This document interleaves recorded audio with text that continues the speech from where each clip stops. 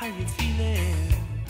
Good morning, Rams. Club and organization picture taking is happening this Friday. Please be sure to check with your club advisors for your assigned time and hall passes.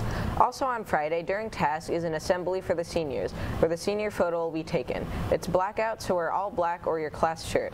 And for the sophomores and juniors, UH Manoa Community Health Scholar Summer Program is still available if you're interested. The program provides learning activities to build knowledge about the field of public health. This program is free to students from historically underrepresented groups, and if you're interested in applying, check out the RAM report. What time is it? It's time for lunch. Hello Rams, today's lunch is a tuna sandwich with tomatoes, veggie sticks, fresh fruit, mixed fruit, and milk. Now the weather. Today's weather is 77 degrees with a 16% chance of rain. Now back to our anchors. If you like to dance, spin flags, or toss rifles, Winter Guard is for you. Practices start up next week Thursday in the cafeteria and are every Tuesday and Thursday from 4 to 6.30. Talk to Miss Key in room 232 for more information.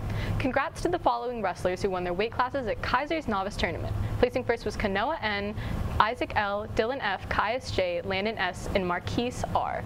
That's all for today, Rams. Have a Ram brilliant day. Go Rams! Can we get away?